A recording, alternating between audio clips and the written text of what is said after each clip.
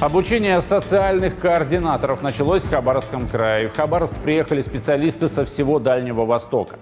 Эта служба будет заниматься оказанием помощи ветеранам и семьям участников специальной военной операции. Все подробности в следующем материале.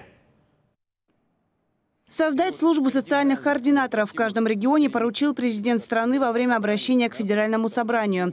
Новая структура будет оказывать индивидуальную помощь ветеранам и семьям участников СВО в решении разных вопросов.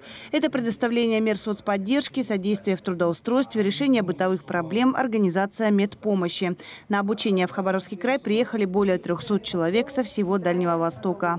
Я вам хочу пожелать внимательности, главное, ни в коем случае не стеснение задавать как можно больше вопросов, потому что нам эти задачи действительно предстоит реализовывать вместе.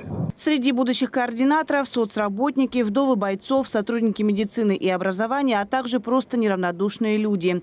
Елена Мурзина приехала из Забайкальского края. Ее сын – доброволец СВО. Сама Елена представляет в своем регионе комитет семей воинов Отечества, который уже помогает семьям мобилизованных. В основном это жены мобилизованных обращаются. Эм, много э, есть обращений по оформлению каких-то социальных выплат через САГАС, да, это и форма 100, когда теряется, много по выписным документам. С подобными вопросами семьи участников СВО раньше обращались в Центры семей поддержки мобилизованных, которые действовали на базе МФЦ и Центров соцподдержки населения. Сейчас комплексной помощью будет заниматься отдельный орган. В каждом субъекте есть свои возможности, есть свои нюансы по работе, и они где-то отличаются.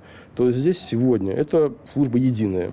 И поэтому социальные координаторы набраны в каждом субъекте, но будут обучены по единым правилам. Будущие соцкоординаторы уже прошли обучение дистанционно. В течение четырех дней на научном этапе им расскажут об обязанностях и полезных технологиях. Также специалисты пройдут психологическую и юридическую подготовки.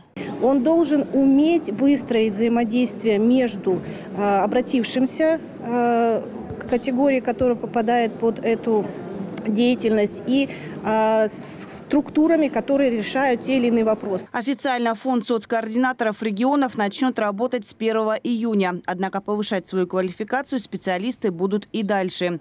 Федеральные структуры проведут для них вебинары, а в начале августа координаторы снова соберутся в Хабаровске для дальнейшего обучения.